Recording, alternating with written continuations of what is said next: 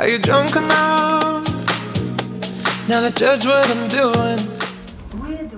So we're just chilling with the gang in my brand new office. Check this out. Oh, your new office. Yeah. New office. She might debate about that, but yeah, Lombard Street, this massive like working space is pretty cool. So let's just sit down and chill, shall we? Are you high enough to excuse that I'm ruined? It's the calm before the storm. So next up is Belfast Fashion Week. Is it late enough for you to come and stay over? Cause we're free to love. so teasing me. Ooh. I made no promises. I can't.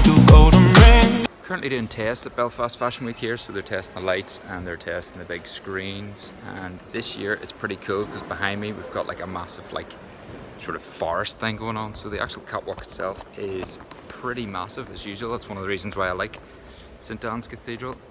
And apart from that, all this.